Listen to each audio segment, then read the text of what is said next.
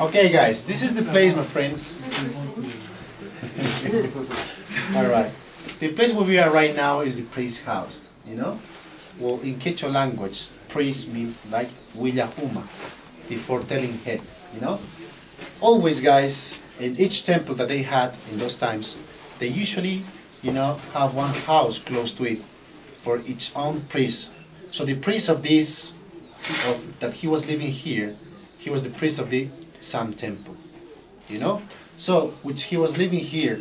Look at this house, guys. It has two floors. Right now we're in the first floor, and look it up, the door of the second floor and the window of the second floor, guys. And if you see very well, guys, you can see in both sides, in the first floor, trapezoidal niches, look at that, right? And upper, also in the second floor, more trapezoidal niches. All of those guys, they usually, you know, have in their houses trapezoidal niches. For what? One of the customs says that they used to live with their mummies, sometimes with the mummies of it. Or they also put some idols, right, on their niches, right?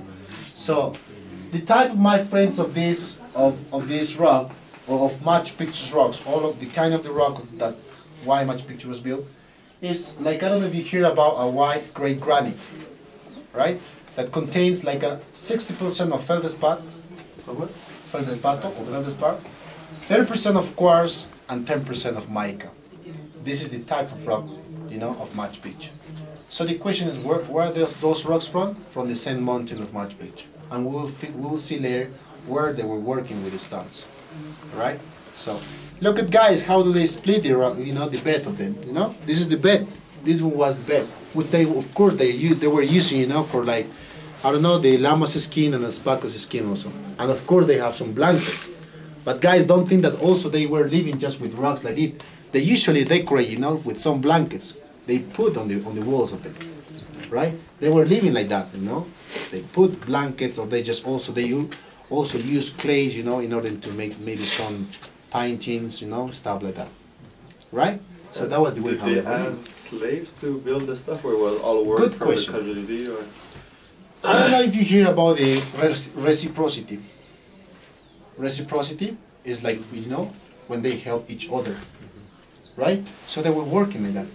Like for example, like for example, the, the they were living here in Machu Picchu for like a, almost 1,000 people here, right?